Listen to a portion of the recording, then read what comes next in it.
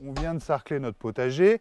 On veut maintenant décompacter la terre et non pas la retourner pour bien garder les strates du sol telles qu'elles sont actuellement. On a choisi une grelinette 5 dents car la terre est très bonne ici chez notre, notre ami Nicolas. Vous avez des dents de 25 cm courbées en acier extra trempé à 850 degrés. Vous avez un repose-pied qui va vous permettre d'augmenter la force de votre coup de pied. Les dents partent d'ici et traversent le socle avant d'être coudées. Évidemment, tout est soudé. Dernier avantage de cette grelinette, c'est d'avoir des manches en frêne courbées à fibre droite qui permettent d'augmenter le côté levier. Donc voilà comment on utilise une grelinette. Positionner le pied en plein milieu. On va commencer légèrement à rentrer sur la gauche, puis sur la droite, jusqu'à avoir rentré l'intégralité des dents jusqu'à la courbure. Une fois que vous êtes à ce niveau-là, rien de plus simple, votre corps reste parfaitement droit. Vous avez juste à soulever délicatement et à décompacter comme celui-ci. La grelinette est un outil qui s'utilise en reculant, qui travaille sur deux largeurs de bêche et qui, on le répète, va garder votre écosystème. Si vous voulez casser un peu tout de suite, vous pouvez travailler comme ça.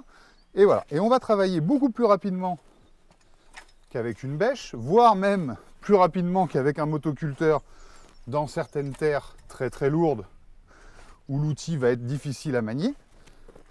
Alors, vous remarquerez que sur le site, on a souvent conseillé de prendre une 3 dents. Donc c'est ce que je vous disais au début. En effet, là on est dans une très bonne terre. Donc la 5 dents travaille très très bien. Il n'y a aucun souci. Si vous êtes assez costaud, c'est un outil que vous n'aurez pas du tout de mal à manipuler. En revanche, si vous avez une terre glaiseuse ou une terre très lourde, là on va vous conseiller d'utiliser la grelinette 3 dents qui sera beaucoup plus maniable et qui va vous permettre de ne pas soulever des grandes plaques d'argile au moment de l'action de levier. Vous voyez là, on peine beaucoup moins qu'avec la binette pleine lune tout à l'heure pour sarcler. On travaille toujours droit, on travaille sans se fatiguer, voilà. L'intérêt, si vous voyez que vous avez du mal à rentrer, c'est de bien mettre le pied de chaque côté des manches pour permettre à la grelinette de rentrer en progression.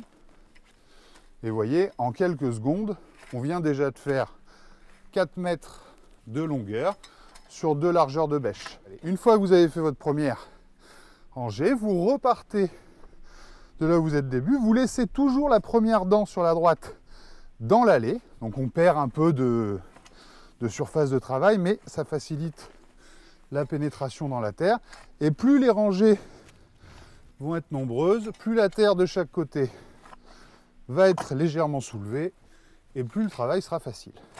Donc voilà, on vient de finir notre deuxième tranchée, on repart sur notre troisième. Voyez.